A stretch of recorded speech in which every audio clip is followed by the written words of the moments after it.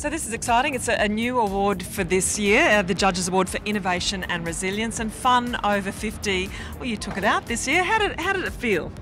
Um, it was incredible, to be honest, because we've gone through such a, as everybody else has, a huge ride. Um, I think our demographic being the over 50s, but the average age is 65 to 75. So vulnerable to the virus, um, want to travel, but also we, we're domestic operators, so we travel across borders. So when COVID hit on March 17, when the lockdowns happened, we had 1,923 guests affected right into 2021 with forward bookings. So the staff had to work, you know, seven days a week, literally, to process cancellations and rebook and get flight credits and try and process refunds or credits with the guests, but most guests held credits. So that's I think that recovery and resilience is with the fact that the trust that they had in the company was going forward with future bookings. You had to innovate. You had to be resilient. Very much so. We did actually because we actually had um, tours that were fully booked crossing borders, and we were waiting, and lots of our operators gave us 14 days to give us the final numbers and when we just couldn't cross those borders, we actually had a, uh, um, a campaign called Travel with People You Know, going to villages and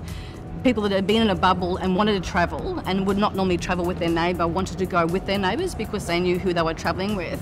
And it was like a cab rank. They were in the background waiting for those tours to be cancelled and we go, right, you can go. And we had lots of forward bookings on those group campaigns.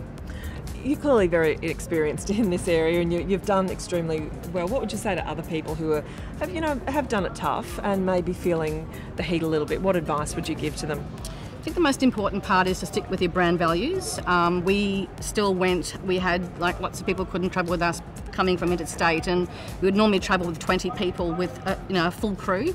We travelled with full crew with eight people, and we still limped through the regions giving support to our suppliers. But we didn't lose our brand values, we didn't skimp on our professionalism, and we we had money and we invested and we had good sustainability within our business and that's the main thing is sustainability sustainability.